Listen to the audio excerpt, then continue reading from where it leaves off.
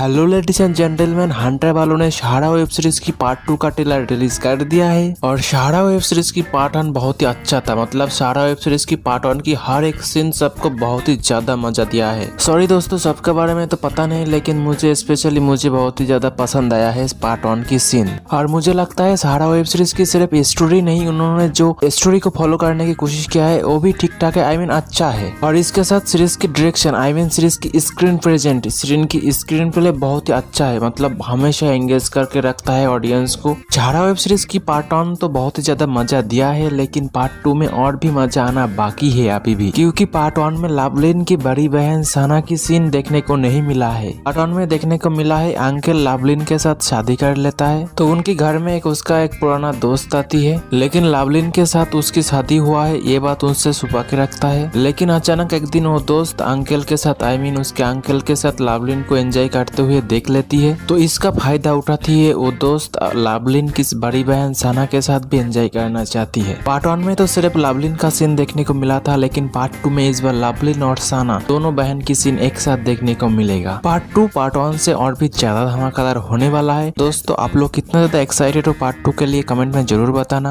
और वीडियो पसंद आए तो वीडियो को लाइक करना और चैनल को सब्सक्राइब करके बेल आइकन ऑल पे सेट कर देना। तो मिलते हैं नेक्स्ट कोई वीडियो पे।